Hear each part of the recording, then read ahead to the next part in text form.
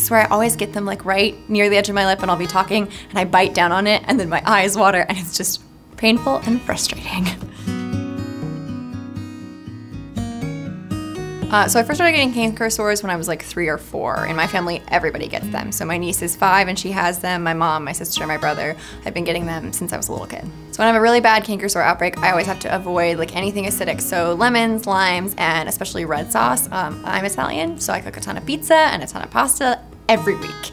And so when I can't have red sauce, or if I try, I'll try to like eat it on one side of my mouth, but if I have canker sores on both sides of my mouth, it's terrible.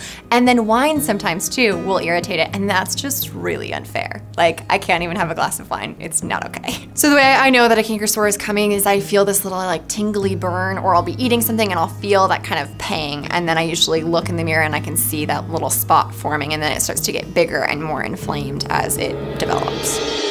So when I first saw the Luminance Red on the Facebook ad, I was like, this looks like a gimmicky laser pointer. Like this is not, there's no way that that's going to work. This is just another thing that's promising to fix my canker sores that isn't gonna work.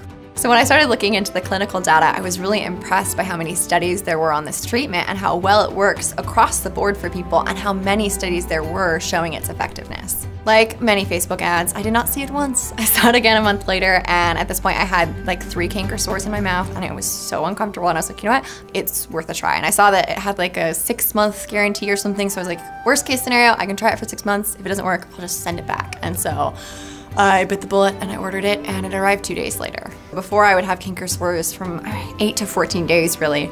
And now they're usually gone if I use the Luminance Red right when it starts. Uh, they're usually gone after about three days. So the Luminance Red works really easily. You just turn it on and then it has a timer when you hit start and it goes for 60 seconds. You just hold the light to the canker sore and I only have to do it two or three times a day. So I usually do it in the morning before I go to work and then at night when I get home and I don't need to worry about it the rest of the day. It feels pretty great. Uh, I kind of feel like um, a Jedi with my little laser, and I just like feel much more in control of my health in this way because this is the way that I've talked to my dentist, I've talked to doctors, and none of them have given me anything that works. And so I just felt always a little bit like uh, this was one area that when I would feel it coming on or I'd feel them developing that there was nothing I could do. But now I feel like I have some control and some peace of mind, and it feels really great.